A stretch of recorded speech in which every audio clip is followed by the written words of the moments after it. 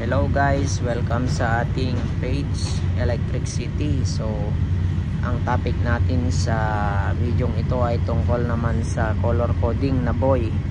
So, kung napanood nyo yung previous videos ko about uh, BRB color coding, kung kailan ginagamit at anong voltahe ginagamit yung mga color coding na BRB at boy. So, guys, uh, recap lang sa ating previous video. Yung video natin na BRB ay tungkol sa 208 or 240 volts to 208 na power supply. So, yung BRB stands for black, red, and blue. So, now, ang color coding na hinahandle natin ngayon or yung trabaho natin ngayon ay boy. So, meron tayong uh, yung boy stands for brown, orange, and yellow. Tapos, ang gray natin lagi ay neutral pagka boy ang color coding natin. Pagdating naman sa BRB, ang color coding para sa neutral ay white. So, don't confuse with that one. Sa mga nagbabalak mag-apply dito sa US or dito sa Guam, ito po yung mga kadalasang tinatanong sa interview. So, be, be aware sa color coding nyo. So, uh, malalaman na nila agad kung marunong kayong mag-wiring or alam nyo yung ginagawa nyo. Kasi dito sa US very strict sila. Compliance talaga sila sa codes.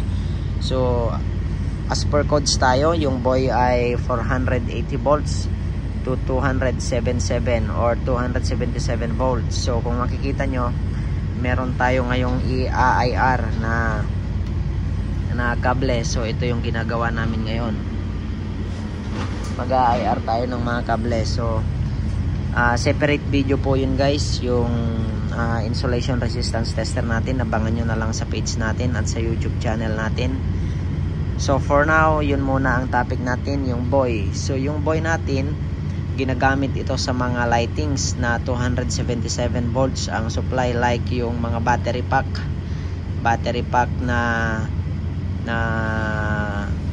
emergency lights natin or emergency lighting natin. So meron kasing dalawang klase ng ilaw dito na ginagamit nila.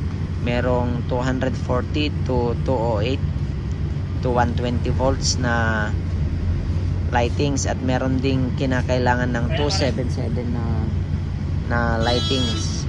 So itong distribution na boy ay kadalasan galing ito sa ating transformer. Naka-feed siya sa transformer yan So from transformer diretso siya sa sub-distribution panel or sa main distribution panel. Tapos yung BRB naman natin ay kadalasan nasa 240 volts to 208 na distribution panel. And then ang mga nangangailangan kasi ng mga 277 ay 277 to 480 volts ay like yung mga motors motors dito sa US mga HVAC motor kailangan nila ng mga 277 to 480 volts.